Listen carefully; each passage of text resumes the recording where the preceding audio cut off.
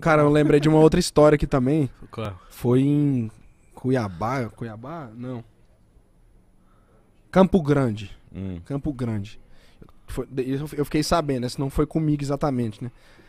Eu tava fazendo um show, meu produtor foi no banheiro, velho. Aí ele foi no banheiro da banda, tinha um cara cagando. Aí ele falou, putz, aí tô apertado, vou no do Murilo. Graças a Deus que esse cara tava cagando, mano.